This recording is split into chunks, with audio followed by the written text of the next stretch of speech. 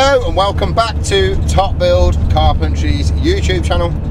So I wanted today to talk about spray painting, prime example to talk about it because our spray equipment has gone down. Now where we buy our spray equipment from is a company called Sprayman UK and I was planning on doing a bit of a video on this at some point in the future. Uh, so obviously prime time now to show you. Uh, they're based up by Cannock, we're Tamworth based so it's about a half hour drive from us but they are really good. Like I've just rang them now told them the situation our spray equipment's gone down our main spray equipment.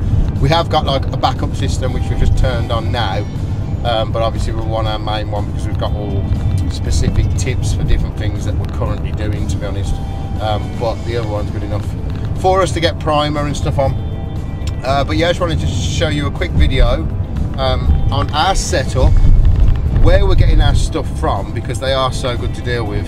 Um, obviously, we bought all of our equipment from Sprayman UK now, to be honest with you. Um, our last two setups, and they're just so helpful, to be honest. Because obviously, initially for us, probably what six years ago, we wasn't spraying, to be honest with you.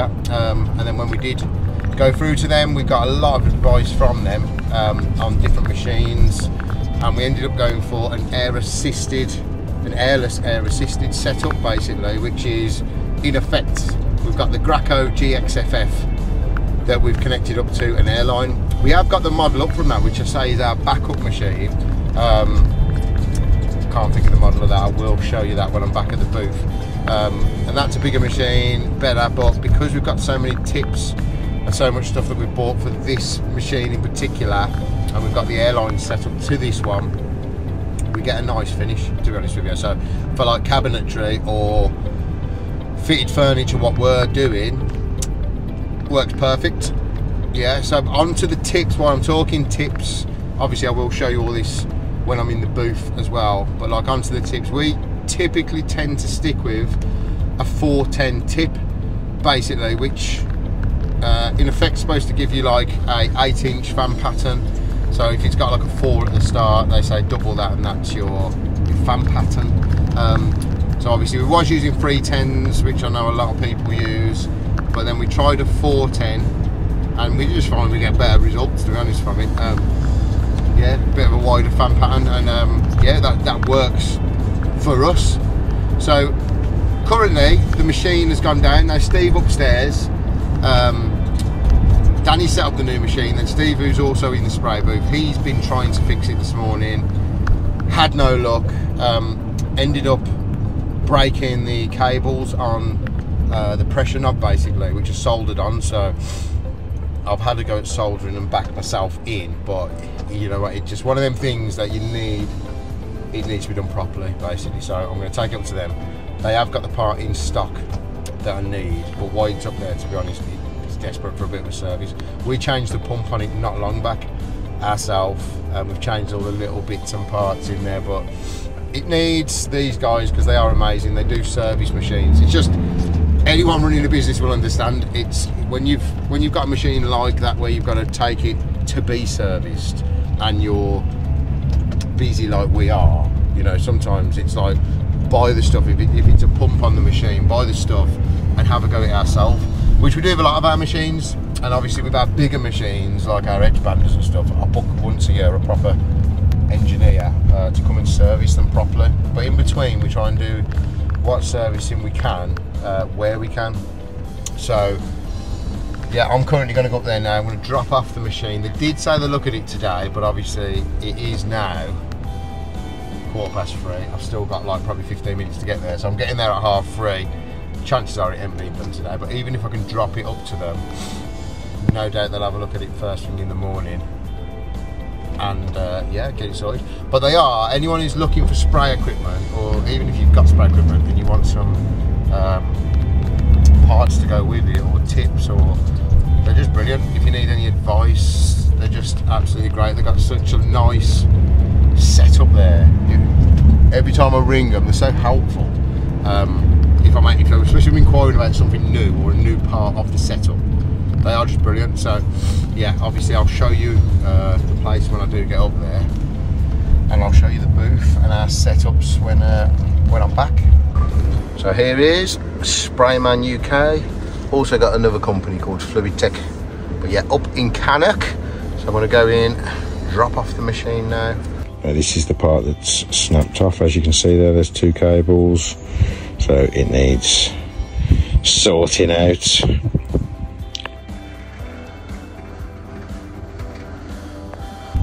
So that's the machine dropped off. That's what I say about how helpful they are. Obviously I've rang them half an hour ago.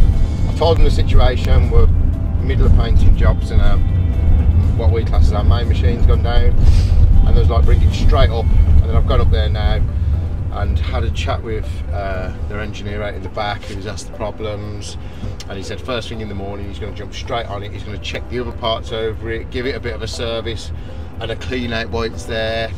And uh, there's a couple of filters on it as well he said he's going to change them as well. Just so helpful. Um, so hopefully all being well and good should get the phone call late morning tomorrow he said. Go and pick it back up. And we're back in action. So yeah the joy of that and then obviously onto spray painting you know we that's not our main trade. It's a trade that we do and what we offer. And obviously we have been now for probably six years.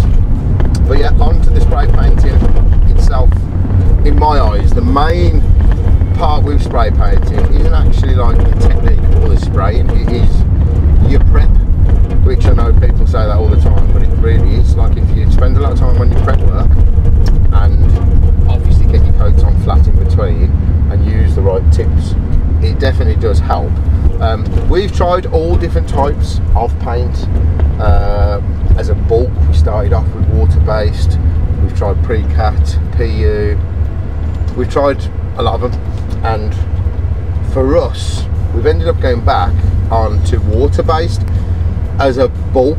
There's certain things we do use PU for now and then, but for health reasons, for easy cleaning up of the system, you know, like I say, it's not our main trade. Um, but for all those purposes, the water-based, the good water-based, um, we was buying from Symphony Coatings. They do offer good products.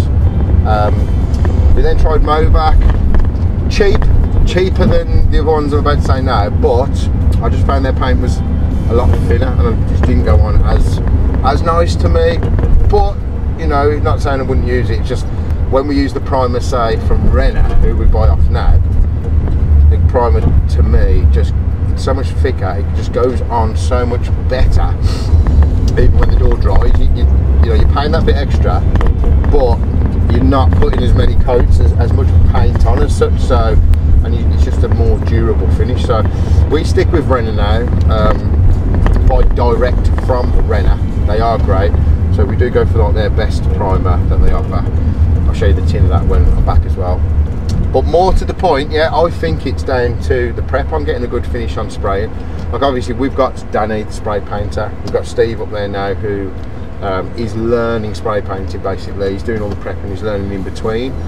Um, and I do spray myself because I think anything in a business, as a business owner, like with our lighting, little things like that. It's like I've learned that myself. So before we took a sprayer on, I just got to grips with it myself and, and learned how to spray really. And obviously over the years of doing it then, picked it up and then obviously Danny upstairs, he's got like 20 years experience and stuff. So he's got a lot of experience in all different types of spraying. Um, but the biggest thing for me, I think, is the prep. So we as a, as a whole for us to get a good finish we we start off with like 240 to 320 grit depending on what we're making with the sandpaper but then I think a massive thing to get that really nice finish is when we do our final um, coat of primer we then move on to 600 grit sandpaper which obviously when you feel it doesn't feel like much. I know some people go up to a thousand grit we go to 600 we feel like we get a nice flat light glass primer finish basically. And then important to use tack rags after. So you're tacking off all the bits of dust and uh, debris from the door or whatever you're spraying. And then you're going on and getting your pressures right because we do find different colours and different paints. They all you need different pressure for each paint you're spraying so obviously once you've got your machine and you set up then you'll start to understand that basically. If you're watching this and you're looking for a spray self to start off with, like I do highly recommend the Graco GXFF with an airline connected to it uh, to give you airless, air assisted because it just gives you like a nice perfect fan pattern basically and it atomizes the paint lovely. It just gives you a nice finish and every time they dry you know today touch wood we haven't had any complaints. Um, when we do go to our fix we do spray everything prior like as in our class as 100% I know some people leave certain parts off till they get to the fit but we spray it all on the basis that like our plinths our fillers the whole lot. And then obviously touch-ups on site we do wrap. I invest in like a foam a one and a half mil foam that we transport everything in. So we do wrap things well to get to the fix to, to avoid damages but when we do get to the fix then if there's little minor things that we need to touch up say if you've scribed something in and there's little minor bits nine times out of ten we carry artist brushes and we can touch it up with that.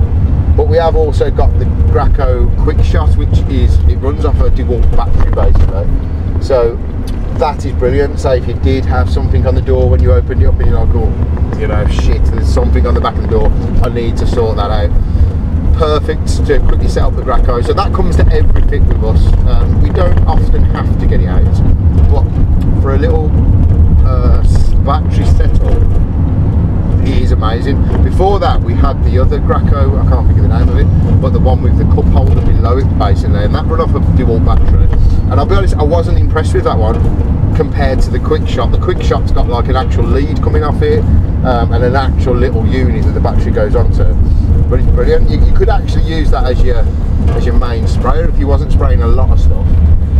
Um, yeah, and we looked into recently. We were looking into like when I bought this second uh, setup, we was looking into different spray machines and, and different bigger ones and stuff. And, and, when I actually went up to Sprayman, you know, that's how honest they are. You know, there's like, to be honest, Karl, with the setup you've got there for what you're looking at now, unless you go like spending like you know 10,000 something like that, unless you get to that stage, you don't need it because you're getting the same amount of pressure going through the gun with what you're doing, it's working perfect. So if it's not broke, don't fix it. Say that it's not broke, it is broke and I am fixing it, the machine. But as a whole, with the actual setup, it's been brilliant. What works for us is the GXFF on an airline, the Graco quick shot for when we're out on site, because we've, we've got DeWalt tools, we've got DeWalt batteries, and it does come with DeWalt batteries anyway. But that's brilliant for little touch-ups, gives you a real nice little finish. Um, and just using the right sandpapers and then to go alongside the sandpapers, the sander. So we use the Festool, the R, RS400, uh, the square one, which is like 80 by 133 on the pads. We use that, and before that, before we knew about like how important, or before we took more interest into how important the prep was, we was just using any old sander to be honest, like you know, like the little battery ones and stuff. And I tell you, you don't get the same finish. So when we connect the, little Festool up to our up to our uh, extractor and it's pulling through the extraction, the dust extraction is actually pulling the dust extractor down to the board so it's actually sucking it as it's going. It's brilliant. So it's 10 to 12 following day and the machine is already ready. They rang me an hour ago, fixed the machine, ready for collection. 10 out of 10. So back in the booth and we have our repaired system. So while we're here, I wanted to just show you our system, what paints we're using, our two setups. We have got the mobile uh, Graco Quick Shot as well. But come and have a look over here. So currently, why that machine went in, as I say, we've got the Graco 495 PC Pro. Is a good machine and obviously we use it as our backup. But to be honest with you, it primes beautiful. So obviously, luckily we've got that as our backup. As I was saying earlier, with our GXFF there, it might look in a bit of worse for wear. Steve's got to do a bit of a clean down on that. But that linked up to the silent compressor, which is over the back there, if you can see it. Uh, linked up with that, obviously we downstairs as well, we've got the normal version of that. There's the silent one, which is about £300 more than the normal. We bought the normal initially and when you're spraying in here, the, the normal one, the noise was quite noisy. Spoke to Sprayman, as usual, brilliant.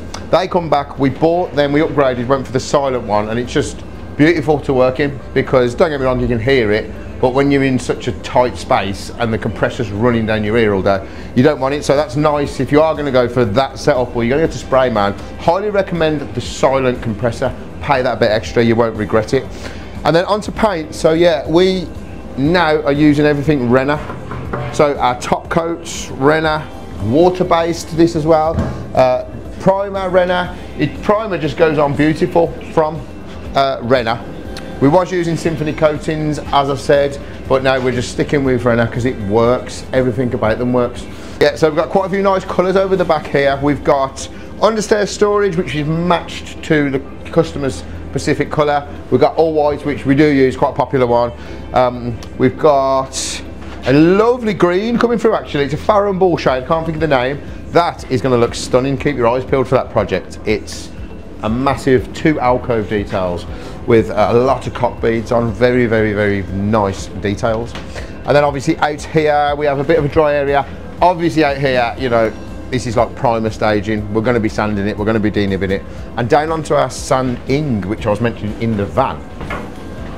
Yeah so this is the Festool that we use. 10 out of 10 connected up with the extractor. It is brilliant. And then we use the Festool pads. To go along with them. Um, but then we do go down to a 600 grit below our top coat uh, and we just find that gives us a nice glassy finish and we get good results for what we're doing our fitted furniture turns out lovely using a water-based paint you know so yeah it works for us not saying that like you know what we're doing we are experts because we're not Everyone's out here learning, but we have found a process for us that works. We get a good job. So I thought I'd just do a video and if it helps someone out, especially someone who's looking to get into spraying, hopefully this helps. So if you do want to see any of our work, you can find us over on Instagram at Top Build Carpentry. If you do want to see any more of our YouTube videos, do subscribe because we've got a lot coming up, um, different machines around the workshop, more areas in here and different things, but we're also doing some of our projects from start to finish. We've started to introduce them now. So yeah, do subscribe. Thanks for watching. I'll see you on the next one.